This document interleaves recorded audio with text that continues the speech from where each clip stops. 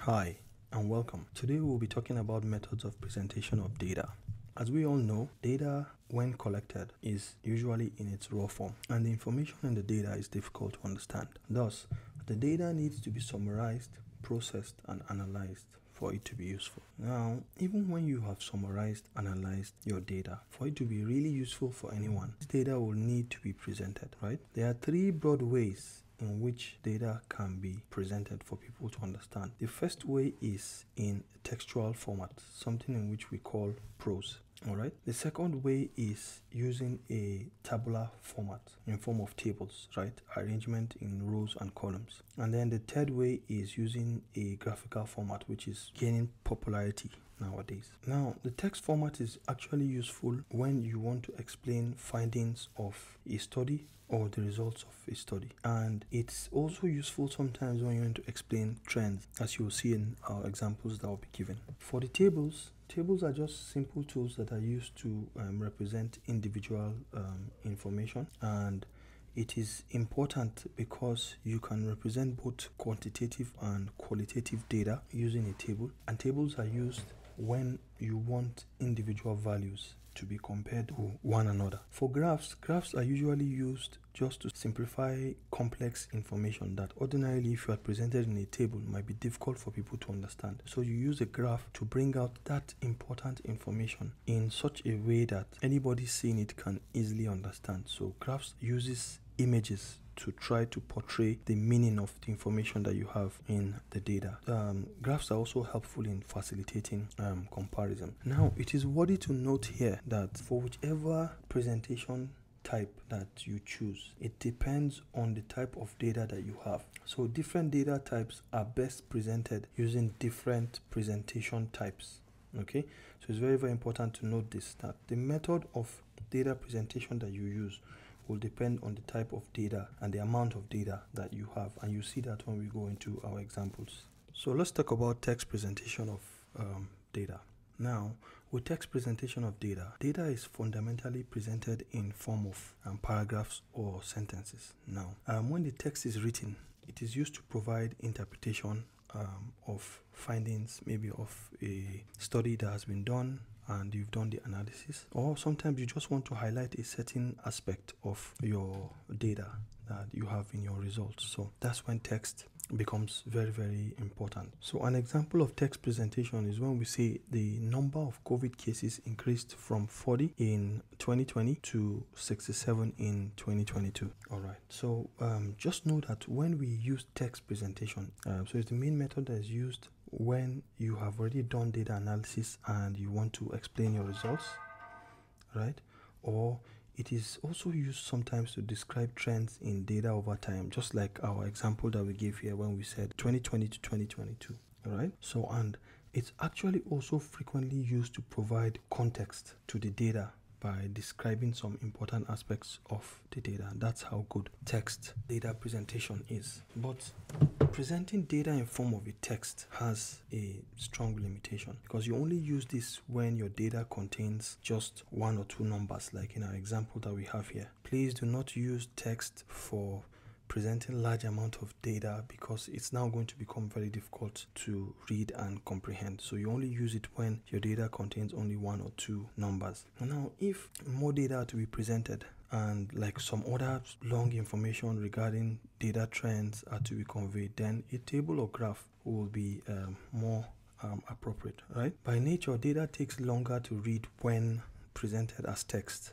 and when the main text includes a long list of information then it becomes difficult to present so if this example that we had were to be presented also in a graph then it would be like a waste of space you know because um, why would you want to present just two numbers or three numbers in um, a table or a graph right? So because this will occupy unnecessarily large space without even giving any extra value or giving any better understanding of um, the data. So that's that for text, representing data in form of text. This is by putting the data in like a sentence and um, the text use is used to provide interpretation or emphasize um, some particular aspect of the analysis that you've done and only use displays when your data contains one or two numbers. Next, we'll go to um, tabular presentation of data. That's when data is presented in form of tables. So it's interesting to note that tables have been used for quite some time and a table is just a systematic organization of data in form of rows and columns. All right. And like I was saying earlier, it's interesting to know that tables containing information have been used for um, nearly almost 2000 years now, right? And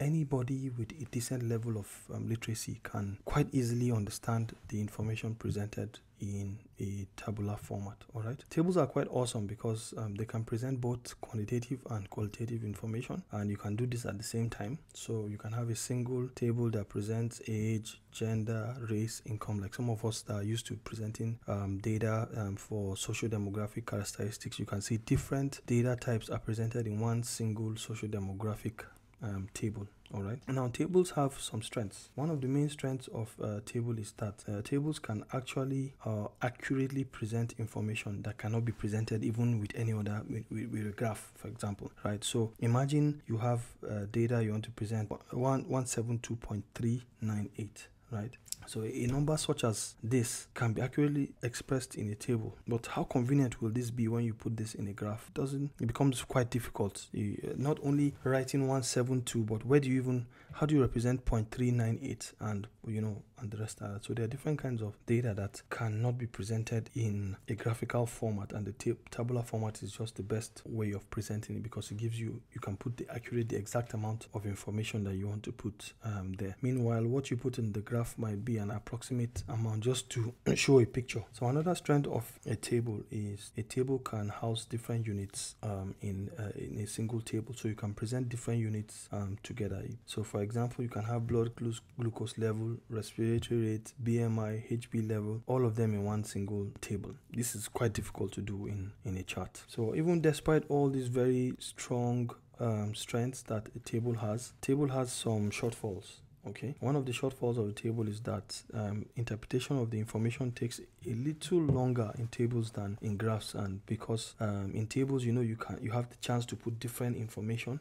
And if one is not careful the table will contain so much data in different formats that it will take some considerable amount of time for you to be able to interpret and understand what the table is talking about all right so that's a main weakness of uh, table interpretation takes some time all right and then another shortfall is that um, tables are not really appropriate for studying data trends because um, it's not easy to um, trace uh, a change in uh, maybe a figure or something by just simply looking at the figures, right? A graph will do a very good job um, in easily showing you that complex information in a very, very simple way. You can see those changes visually. Now, also, since all the data that are put in a table are of equal importance, then it's usually not easy to identify and selectively choose the actual information that is required. And that's what brings us to the concept of a graph because a graph actually uses images to pinpoint point and bring out very important information. So you might have a very complex information, but the graph will help you to bring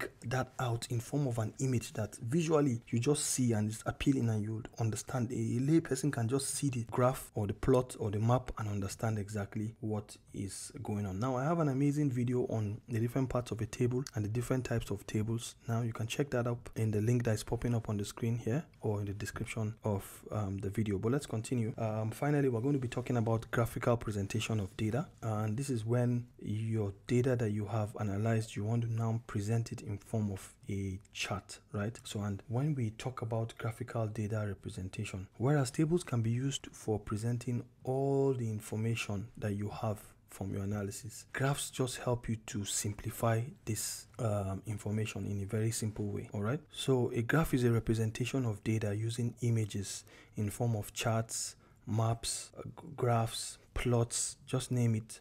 Um, as long as in form of an image, uh, something that you can see visually, that's what we call a graph. All right. So the graphs have um, a, a particular strength. All right. And the major strength is that it helps to simplify complex information right? So don't go and be drawing a graph and the graph is just so difficult to understand. That's not a graph, please. If the information you have is so difficult to understand that you are now putting it in a graph and it's confusing people, then that's not a that's a very bad graph. Put that information in a table. So a graph actually helps to simplify very complex information by bringing out some salient points there and exposing it in form of an image and everybody can see and people will be happy to understand. A graph does this by using these images to emphasize some data patterns or trends and this is very very useful in summarizing or explaining or exploring or even showing you know the strength that you have in um, data okay? So like i said it's very very good to display pattern and trends because you can see this um, uh, visually Okay, so and, and while tables are very effective in presenting large amounts of data, um, graphs can be used in place of tables to just present small sets of data, but in a way that is appealing and people can really understand that information that you want to portray. So anytime in which you want to represent data in form of a, a, graph, now the graph format that is best suited for the information that you have must be chosen, right?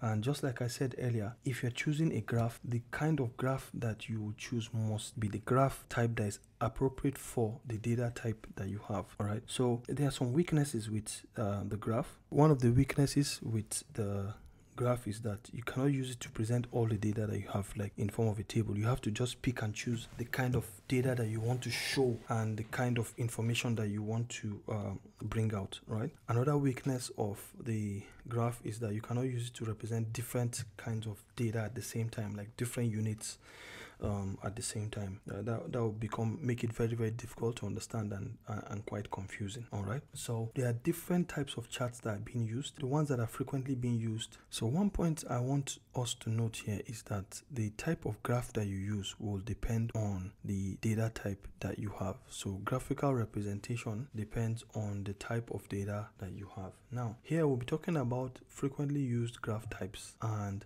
the types of data that are appropriate for the graph format or the graph format that is appropriate for the type of data that you have with examples okay? So first off is the pie chart. Now with the pie chart this is one of the most popular and because you can see the slices of the pie you know and these slices denote like different categories. So it's simple to note and say here that pie chart is actually used for categorical um, data all right so an example here is like educational status that has primary secondary and tertiary. So each of those categories primary let's say the green one is primary the yellow one is secondary and then the third one is um, tertiary okay. So anytime you have categorical data maybe the first thing you can think of is um, pie chart. But know that pie chart also has some of its um, limitations okay? Please don't use pie chart for numerical data. Don't if, if you don't know anything in the graphical representation of data don't even make the mistake of saying pie chart is for numerical data all right so if you want to learn more about pie charts and how to construct one then check out the link that's popping up um, above on the right side of the screen or check um, the video description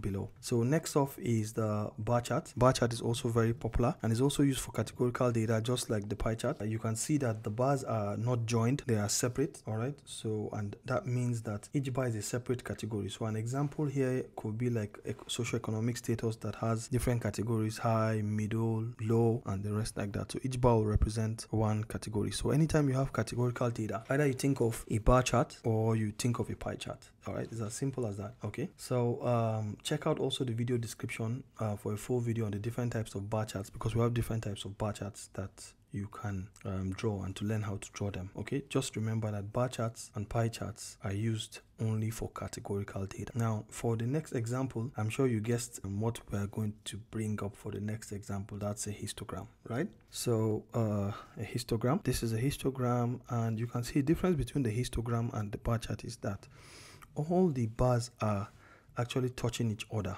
Uh, that's to show you that these things are not like separate categories. They're like in a continuum. So a histogram is used for continuous variables or is used for numeric data. So a histogram is used to show the distribution of uh, numeric data. Okay? So this is a histogram.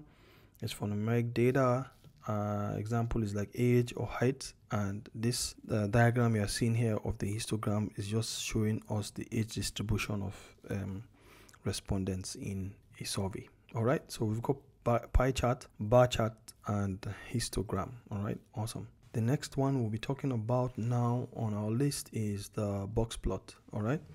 So with the box plot, the box plot is actually also used for numeric data, right? But this depends on what type of variable you are dealing with, right? On what type of um, relationship or hypothesis you're trying to prove. So if you're just trying to look at the distribution of a single variable, then a box plot is just used for numeric variables. Now, but if you are talking about two variables, right? You want to see the relationship between two variables. For a box plot, one variable is a numeric variable and the other variable is a categorical variable right so what we're seeing in the box plot is that it is actually showing the different like what we're seeing in this box plot now we have three different categories you can see with different colors and these three categories are three categories of a second variable which is the categorical variable. So let's give an example here. Say hemoglobin level is the numeric variable and education level is categorical variable. So the first one you're seeing here is for primary, this is for secondary, and this is for tertiary. And these are their hemoglobin levels on this side, and this is the categorical variable on this side.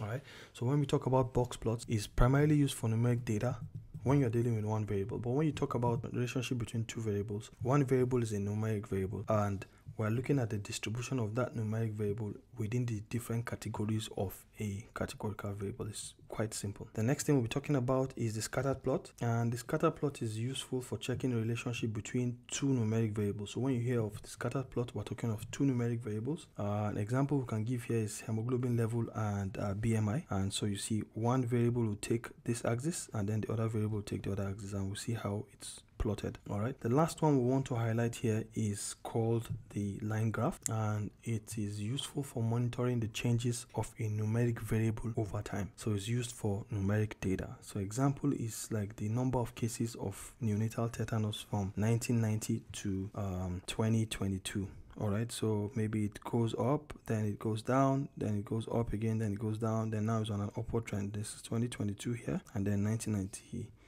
1990 here all right? So it's, it's, it's, a, it's called a line graph. Is used for numeric data and uh, it checks over time the way the data is distributed um, over time. So we have pie chart, bar chart used for categorical variables. We've got the histogram used for numerical variable with numerical data. We've got the box plot that is used for numeric data when you have only one variable. And when you're talking of two variables, you want to see the relationship between the two variables. Then one variable is um, numeric and the other variable is categorical. When we talk about the scattered plot, scattered plot is used for two numeric variables. So the data that you have are two numeric data, HB and BMI, and the line graph is for numeric data, but this is data that is distributed over time. Alrighty, so to wrap things up, I want to ask you um, the following questions and please put your answers in the comment section below and please do not um, ignore this okay so what is the best, the correct graphical method to use to represent the data below. All right. So please put your answers in the comment section. The first is health workers that received COVID-19 vaccines in three facilities. The second is hemoglobin level of 10 children. And then the third is exam scores of 10 ABU DLC students. You can see they passed very well, right? Some got 69, 66, 71.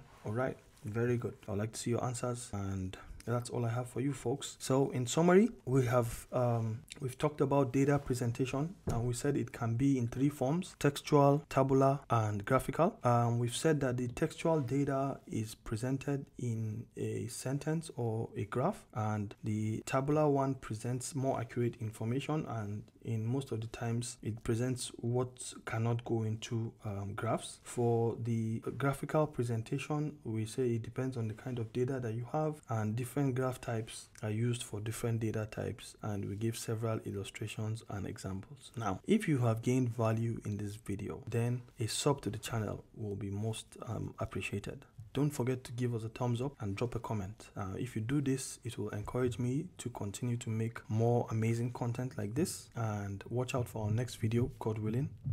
Uh, in our next video, we'll be discussing descriptive statistics. See you in the next video. But until then, peace.